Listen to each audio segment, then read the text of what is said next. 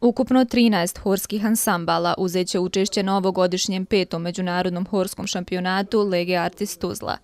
Epidemiološke mjere ne dozvoljavaju veća okupljanja, no organizatori su odlučili da publiku ne uskrate za praćenje ovog događaja, stoga će se takmičenje prenositi online. Orska muzika je nešto što se njeguje u Tuzli znači decenijama, znači nije godinama decenijama i mislim da ova manifestacija zaslužuje e, puno više nego što mi u ovom trenutku možemo dati, ali naravno e, kao što ste već čuli, e, mi smo uslovljeni sad ovim nekim okolnostima koje su nastale u pandemiji COVID-19, ali nije nas to bezhrabrilo. Horski ansambli će poslati svoje snimke koje će stručni žiri evaluirati već danas, te izabrati sedam najboljih. Oni će nastupati u velikom finalu u subotu u Bosanskom kulturnom centru i takmičiti se za Grand Prix šampionata Zlatnu liru.